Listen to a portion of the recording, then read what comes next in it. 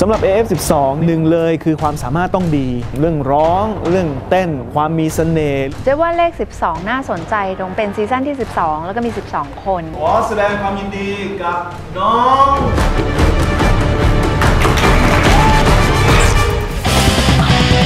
ติดตามชมรายการ The Road to AF12 เส้นทางนักล่าฝันทุกวันเสาร์ได้ทางช่อง True Insight เวลา3ทุ่มครึ่งถึง4ทุ่มครึ่ง